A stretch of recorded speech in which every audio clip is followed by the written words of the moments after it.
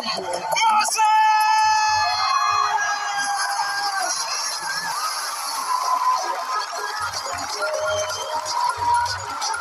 my name is Mercy Ekechineyama, aka Lamborghini, aka Queen of Highlights. If I don't give you, how would you take it? Chineyama means in Igbo, God gives children. So that's my cute name. Growing up in Owerri, it was not easy.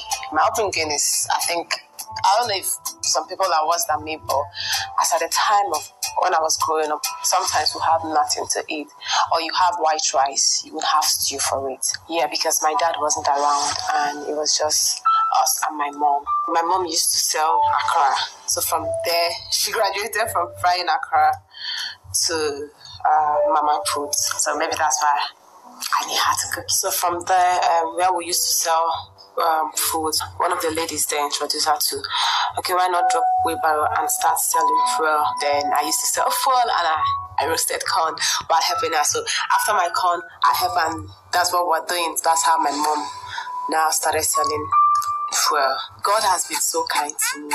Even during school, I had um, a little problem in school. I scheduled in service. I was posted to Abuja. I used to do online business, so that's what I was doing before I started auditioning for Big Brother.